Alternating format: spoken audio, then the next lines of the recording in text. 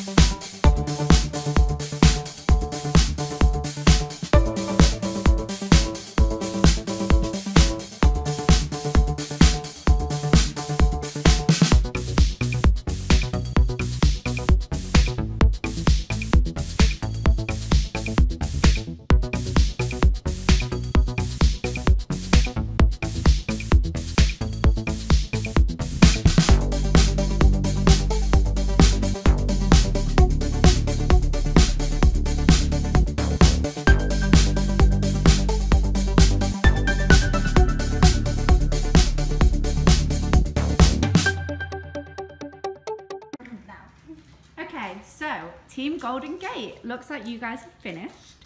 Um, do you want to talk to me about your bridge design? Yes. Okay, well, Laura came up with this great idea to create triangle bases here. So this is kind of like a triangle here, triangles here, and then the same here as well to create our two kind of struts that the whole bridge comes off of. Um, and then we realised that we could weave the bits of spaghetti together here to create crisscrosses. Um, and then when we rested this on top, we noticed it was quite weak, so we've added some more triangles in here. So it's spanning over this area here um, That's the definition of a bridge. Yeah, that is Yeah. the definition of a bridge. So So these stands here are sort of similar to what you see um, with a car jack. It's a really strong structure, triangle. Nice. So why are triangles important in bridge building? Triangles are a really st- strong shape and it just means that they can hold weight really well. So we have incorporated a lot of triangles in our design. Nice. It looks great, guys. So, Team Brunel, are you ready to talk to me about your Um, bridge?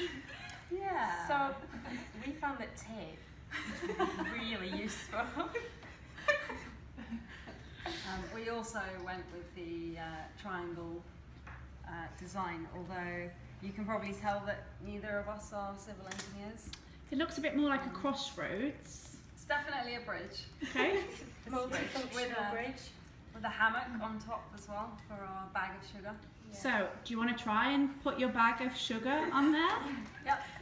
Um, okay. So, again, everyone, this bag of sugar weighs 250 grams, and Kirsty will now place the sugar onto Team Brunel's bridge. Fingers crossed. Take your hands away, please.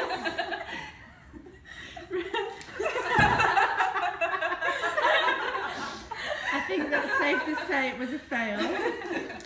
Um, Team Golden Gate, please can you now place your bag of sugar onto your bridge design? And remove your hand. Yay! Yay! I think you are the winner. Passes the other bag of sugar. We're gonna get cocky.